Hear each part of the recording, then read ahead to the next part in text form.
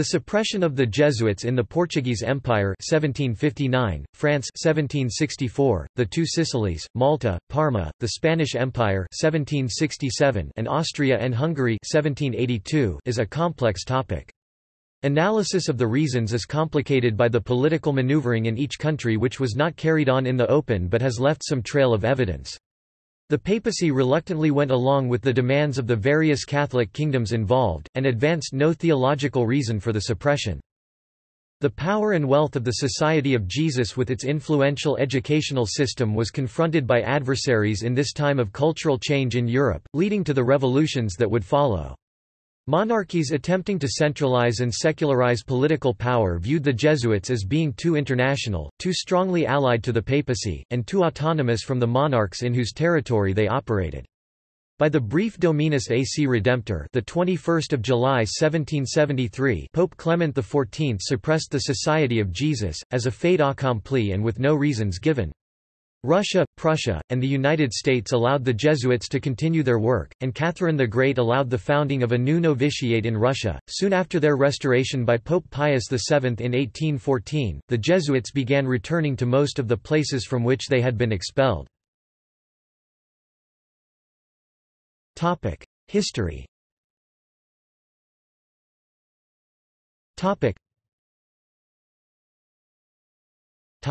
Background to suppression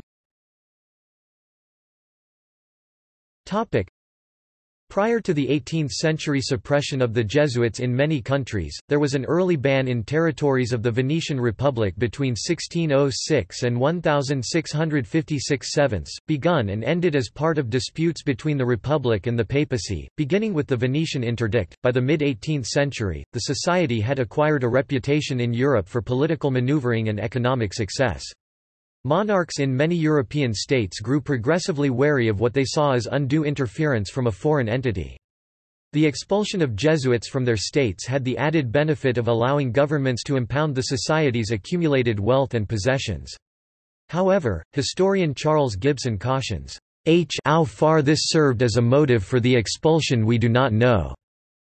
Various states took advantage of different events in order to take action. The series of political struggles between various monarchs, particularly France and Portugal, began with disputes over territory in 1750 and culminated in suspension of diplomatic relations and dissolution of the society by the Pope over most of Europe, and even some executions. The Portuguese Empire, France, the Two Sicilies, Parma and the Spanish Empire were involved to one degree or another. The conflicts began with trade disputes, in 1750 in Portugal, in 1755 in France, and in the late 1750s in the Two Sicilies.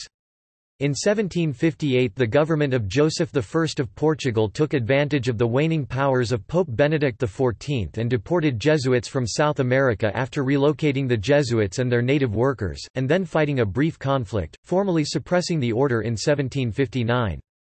In 1762 the Parlement français, a court, not a legislature, ruled against the society in a huge bankruptcy case under pressure from a host of groups, from within the church but also secular notables and the king's mistress.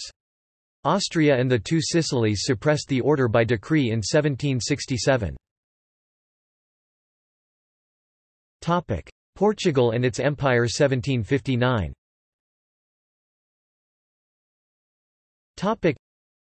there were long-standing tensions between the Portuguese crown and the Jesuits, which increased when the Count of Oeiras later the Marquis of Pombal became the monarch's Minister of State, culminating in the expulsion of the Jesuits in 1759. The Távora affair in 1758 could be considered a pretext for the expulsion and crown confiscation of Jesuit assets. According to historians James Lockhart and Stuart B. Schwartz, the Jesuits' Independence, power, wealth, control of education, and ties to Rome made the Jesuits obvious targets for Pombal's brand of extreme regalism. Portugal's quarrel with the Jesuits began over an exchange of South American colonial territory with Spain. By a secret treaty of 1750, Portugal relinquished to Spain the contested Colonia del Sacramento at the mouth of the Rio de la Plata in exchange for the seven reductions of Paraguay, the autonomous Jesuit missions that had been nominal Spanish colonial territory. The native Guarani, who lived in the mission territories, were ordered to quit their country and settle across the Uruguay. Owing to the harsh conditions, the Guarani rose in arms against the transfer, and the so-called Guarani War ensued. It was a disaster for the Guarani. In Portugal a battle escalated with inflammatory pamphlets denouncing or defending the Jesuits who for over a century had protected the Guarani from enslavement through a network of reductions, as depicted in the mission. The Portuguese colonizers secured the expulsion of the Jesuits. On 1 April 1758, Pombal persuaded the aged Pope Benedict XIV to appoint the Portuguese Cardinal Saldanha to investigate allegations against the Jesuits. Benedict was skeptical as to the gravity of the alleged abuses.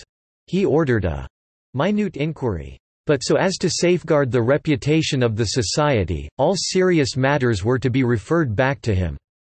Benedict died the following month on May 3. On May 15 Saldanha, having received the papal brief only a fortnight before, declared that the Jesuits were guilty of having exercised illicit, public, and scandalous commerce both in Portugal and in its colonies.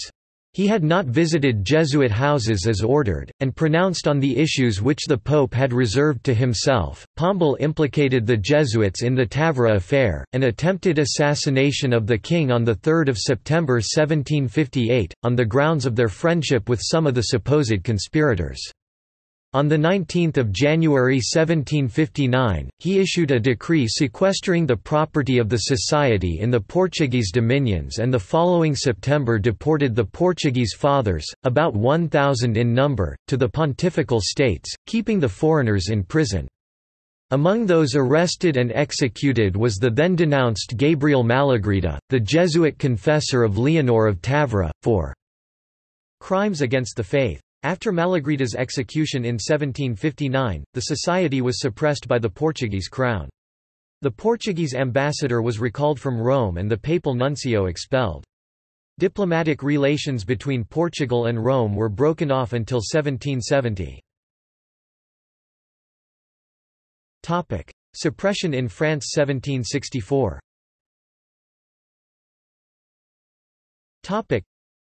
the suppression of the Jesuits in France began in the French island colony of Martinique, where the Society of Jesus had a major commercial stake in sugar plantations worked by black slave and free labor. Their large mission plantations included large local populations that worked under the usual conditions of tropical colonial agriculture of the 18th century.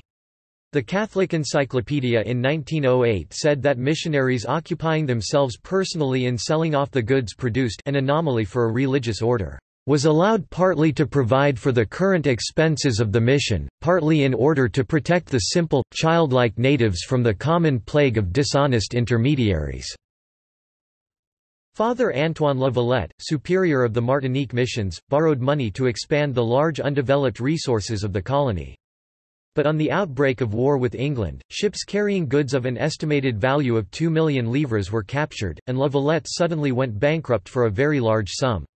His creditors turned to the Jesuit procurator in Paris to demand payment, but he refused responsibility for the debts of an independent mission, though he offered to negotiate for a settlement.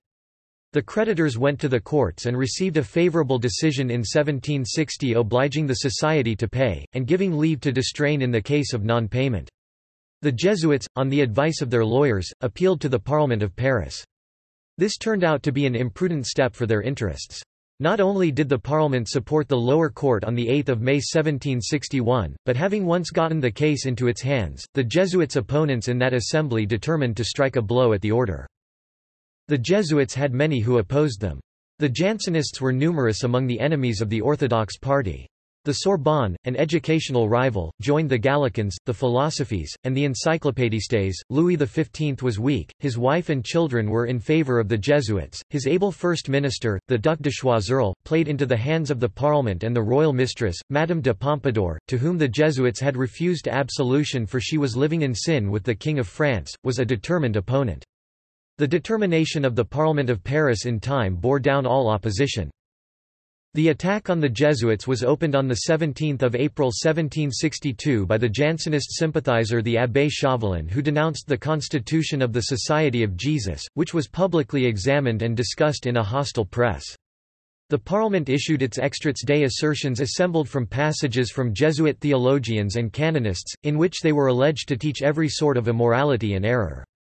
On 6 August 1762, the final arrêt was proposed to the Parliament by the Advocate General Joly de Fleury, condemning the society to extinction, but the king's intervention brought eight months' delay and in the meantime a compromise was suggested by the court. If the French Jesuits would separate from the society headed by the Jesuit general directly under the Pope's authority and come under a French vicar, with French customs, as with the Gallican Church, the Crown would still protect them. The French Jesuits, rejecting Gallicanism, refused to consent. On 1 April 1763, the colleges were closed, and by a further arrêt of March 9, 1764, the Jesuits were required to renounce their vows under pain of banishment. At the end of November 1764, the king signed an edict dissolving the society throughout his dominions, for they were still protected by some provincial parliaments, as in Franche-Comté, Alsace, and Artois.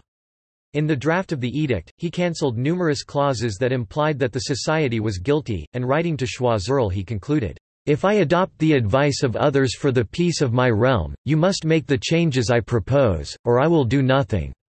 I say no more, lest I should say too much." Decline of the Jesuits in New France following its conquest by the British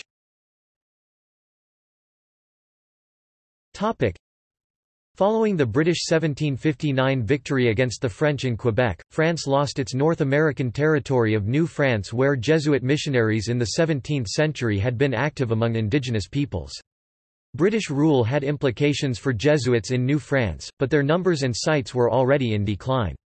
As early as 1700, the Jesuits had adopted a policy of merely maintaining their existing posts instead of trying to establish new ones beyond Quebec, Montreal, and Ottawa.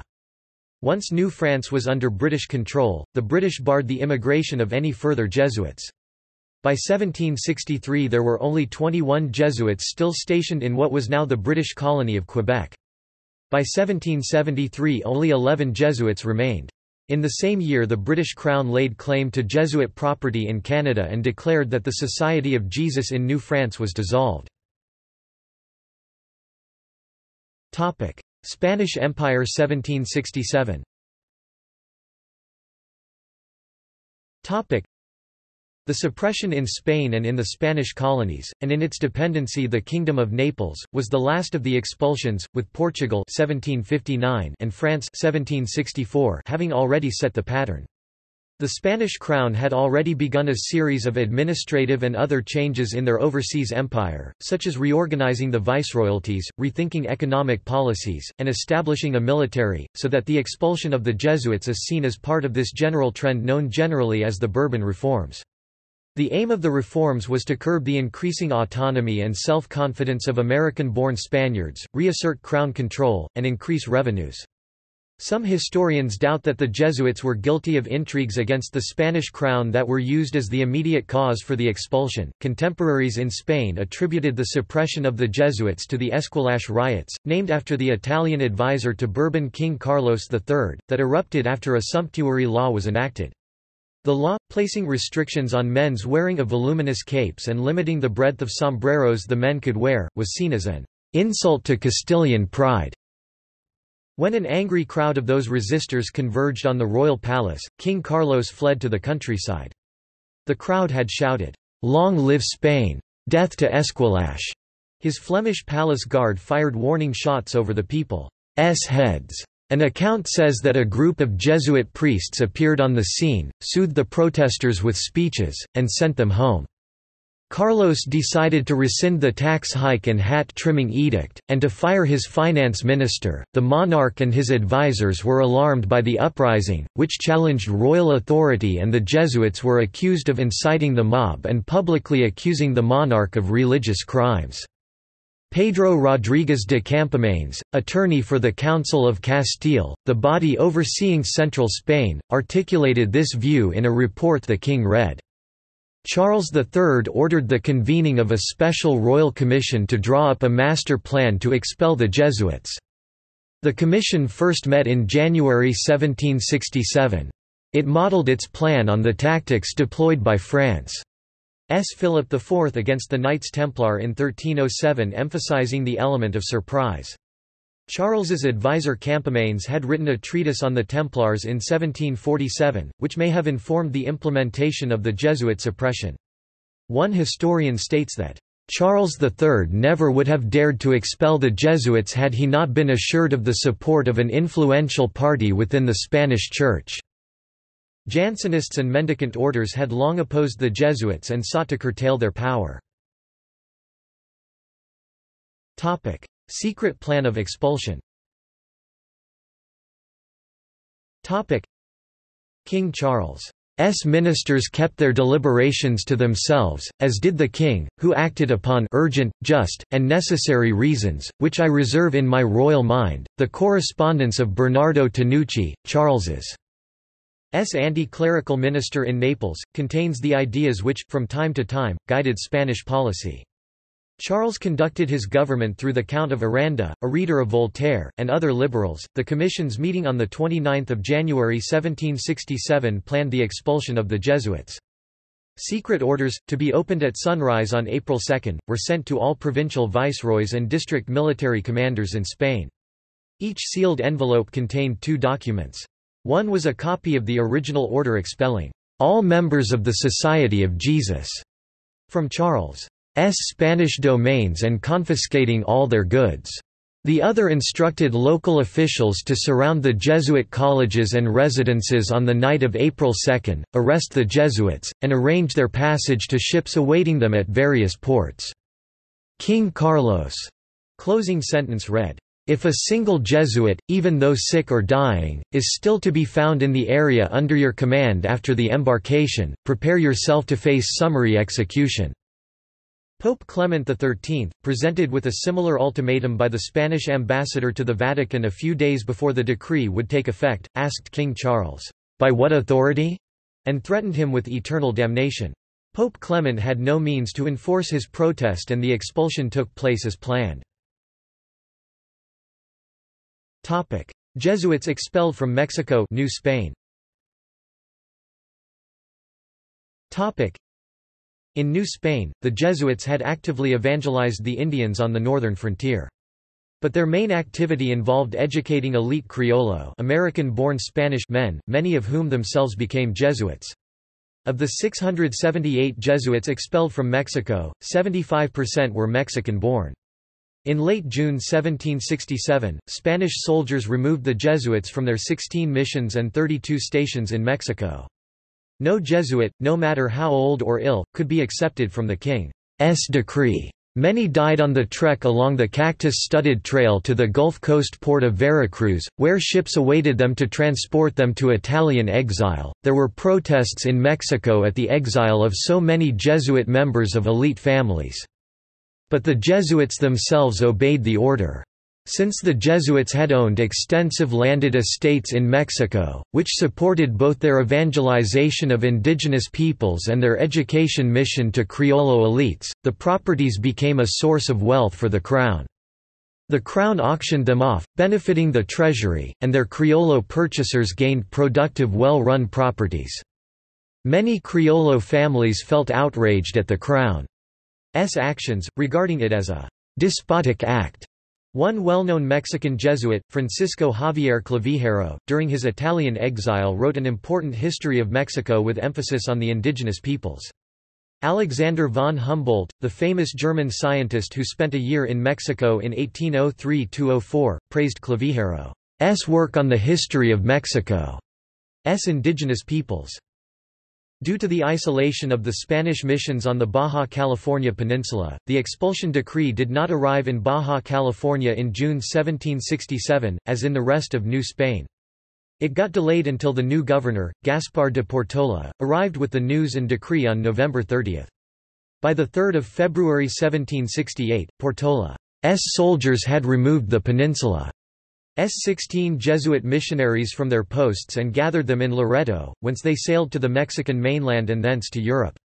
Showing sympathy for the Jesuits, Portola treated them kindly even as he put an end to their 70 years of mission building in Baja California. The Jesuit missions in Baja California were turned over to the Franciscans and subsequently to the Dominicans, and the future missions in Alta California were founded by Franciscans. The change in the Spanish colonies in the New World was particularly great, as the far flung settlements were often dominated by missions. Almost overnight in the mission towns of Sonora and Arizona, the black robes Jesuits disappeared and the gray robes Franciscans replaced them. Philippines. Topic: The royal decree expelling the Society of Jesus from Spain and its dominions reached Manila on 17 May 1768. Between 1769 and 1771, the Jesuits were transported from the Spanish East Indies to Spain and from there deported to Italy. Jesuit exile to Italy Topic. Spanish soldiers rounded up the Jesuits in Mexico, marched them to the coasts, and placed them below the decks of Spanish warships headed for the Italian port of Civitavecchia in the Papal States. When they arrived, Pope Clement XIII refused to allow the ships to unload their prisoners onto papal territory. Fired upon by batteries of artillery from the shore of Civitavecchia, the Spanish warships had to look for an anchorage off the island of Corsica, then a dependency of Genoa. But since a rebellion had erupted on Corsica, it took five months before some of the Jesuits could set foot on land. Several historians have estimated the number of Jesuits deported at 6,000. But it is not clear whether this figure encompasses Spain alone or extends to Spain's overseas colonies notably Mexico and the Philippines as well. Jesuit historian Hubert Becker claims that about 600 Jesuits died during their voyage and waiting ordeal. In Naples, King Carlos Minister Bernardo Tanucci pursued a similar policy. On November 3, the Jesuits, with no accusation or trial, were marched across the border into the Papal States and threatened with death if they returned. Historian Charles Gibson calls the Spanish crown's expulsion of the Jesuits a sudden and devastating move to assert royal control. However, the Jesuits became a vulnerable target for the crown. S moves to assert more control over the Church, also some religious and diocesan clergy and civil authorities were hostile to them, and they did not protest their expulsion. There were popular protests in some areas against the expulsion, including Mexico, which the Crown put down by force. According to historian Clarence Haring, however, "...royal magistrates and prelates seem to vie with one another in carrying out the royal orders." In addition to 1767, the Jesuits were suppressed and banned twice more in Spain, in 1834 and in 1932. Spanish ruler Francisco Franco rescinded the last suppression in 1938. Economic impact in the Spanish Empire the suppression of the order had long-standing economic effects in the Americas, particularly those areas where they had their missions or reductions, outlying areas dominated by indigenous peoples such as Paraguay and Chiloé archipelago. In central Chile the suppression of the order led among other things to a sharp decrease in the import of black slaves from Peru, which although small in comparison to neighboring colonies had led the order to own the largest number of black slaves in Chile, 1300 approximately. In Misiones, in modern-day Argentina, their suppression led to the scattering and enslavement of indigenous Guaranis living in the reductions and a long-term decline in the yerba mate industry from which it only recovered in the 20th century. With the suppression of the Society of Jesus in Spanish America, Jesuit vineyards in Peru were auctioned, but new owners did not have the same expertise as the Jesuits, contributing to a decline in production of wine and pisco. Suppression in Malta Malta was at the time a vassal of the Kingdom of Sicily, and Grand Master Manuel Pinto da Fonseca, himself a Portuguese, followed suit, expelling the Jesuits from the island and seizing their assets. These assets were used in establishing the University of Malta by a decree signed by Pinto on the 22nd of November 1769, with lasting effect on the social and cultural life of Malta. The Church of the Jesuits in Maltese Nisia Tal one of the oldest churches in Valletta, retains this name up to the present. Parma The independent Duchy of Parma was the smallest Bourbon court. So aggressive in its anti-clericalism was the Parmesan reaction to the news of the expulsion of the Jesuits from Naples, that Pope Clement XIII addressed a public warning against it on 30 January 1768, threatening the duchy with ecclesiastical censures. At this, all the Bourbon courts turned against the Holy See, demanding the entire dissolution of the Jesuits. Parma expelled the Jesuits from its territories, confiscating their possessions. Poland and Lithuania The Jesuit order was disbanded in the Polish-Lithuanian Commonwealth in 1773. However, branches in the lands of the Russian partition of the First Partition of Poland were not disbanded, as Russian Empress Catherine did not acknowledge the papal order. In the Commonwealth, many of the Jesuit order possessions were taken over by the Commission of National Education, the world's first ministry of education. Lithuania complied with the suppression. Russia Jesuits were supported by Empress Catherine the Great, a patron of learning, who welcomed exiled Jesuits to Russia in 1773 after their expulsion from other parts of Europe. The order of dissolution was delayed in the Russian Empire until long after her death, when the society had been reinstated in other places. Under pressure from the Russian Orthodox Church, Tsar Alexander I exiled the Jesuits in 1820. Papal suppression of the Jesuits 1773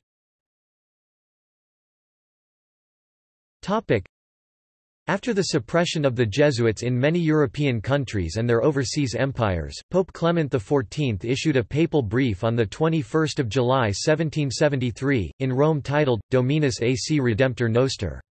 That decree included the following statement. Having further considered that the said Company of Jesus can no longer produce those abundant fruits, less than pre greater than slash pre greater than dot dot dot in the present case we are determining upon the fate of a society classed among the mendicant orders both by its institute and by its privileges. After a mature deliberation we do out of our certain knowledge and the fullness of our apostolical power suppress and abolish the said company we deprive it of all activity whatever and to this end a member of the regular clergy, recommendable for his prudence and sound morals, shall be chosen to preside over and govern the said houses, so that the name of the company shall be, and is, forever extinguished and suppressed. After papal suppression in 1773, the scholarly Jesuit Society of Bollandists moved from Antwerp to Brussels, where they continued their work in the monastery of the Coudenberg. In 1788, the Bollandist Society was suppressed by the Austrian government of the Low Countries. Austria and Hungary the secularization decree of Joseph II Holy Roman Emperor from 1765 to 1790 and ruler of the Habsburg lands from 1780 to 1790 issued on 12 January 1782 for Austria and Hungary banned several monastic orders not involved in teaching or healing and liquidated 140 monasteries home to 1484 monks and 190 nuns.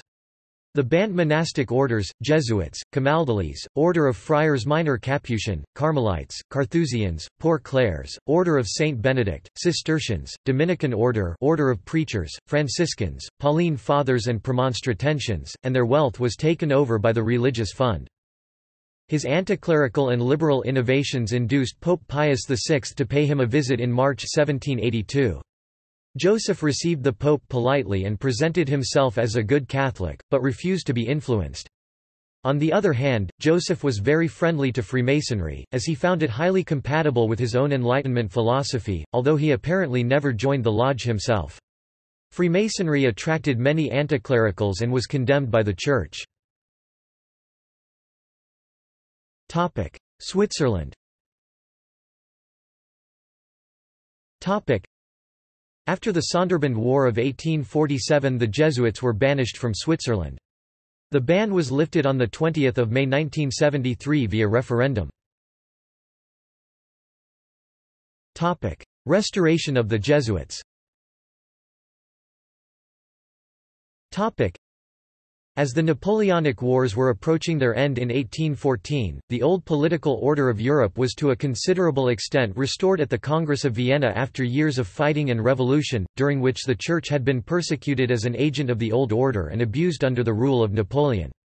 With the political climate of Europe changed, and with the powerful monarchs who had called for the suppression of the society no longer in power, Pope Pius VII issued an order restoring the Society of Jesus in the Catholic countries of Europe. For its part, the Society of Jesus made the decision at the first general congregation held after the Restoration to keep the organization of the society the way that it had been before the suppression was ordered in 1773. After 1815, with the Restoration, the Catholic Church began to play a more welcome role in European political life once again. Nation by nation the Jesuits became re-established. The modern view is that the suppression of the order was the result of a series of political and economic conflicts rather than a theological controversy, and the assertion of nation-state independence against the Catholic Church. The expulsion of the Society of Jesus from the Roman Catholic nations of Europe and their colonial empires is also seen as one of the early manifestations of the new secularist zeitgeist of the Enlightenment. It peaked with the anti-clericalism of the French Revolution. The suppression was also seen as being an attempt by monarchs to gain control of revenues and trade that were previously dominated by the Society of Jesus. Catholic historians often point to a personal conflict between Pope Clement XIII (1758–1769) and his supporters within the Church and the Crown Cardinals backed by France. References. Topic: Topic. Further reading Topic. Chadwick, Owen 1981. The Popes and European Revolution. Clarendon Press. pp. 346–91, also online Van Kley, Dale. The Jansenists and the Expulsion of the Jesuits from France Yale Up, 1975. External links Topic.